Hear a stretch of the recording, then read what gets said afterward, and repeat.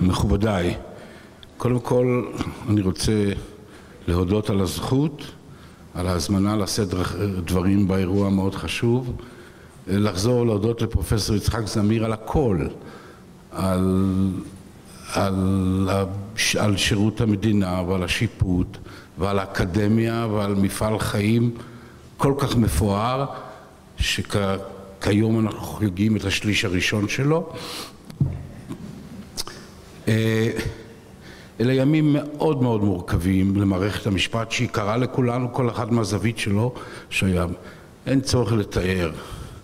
המתקפות הפראיות במיוחד מצד אלה שאמורים להגן עליה ולשמור עליה.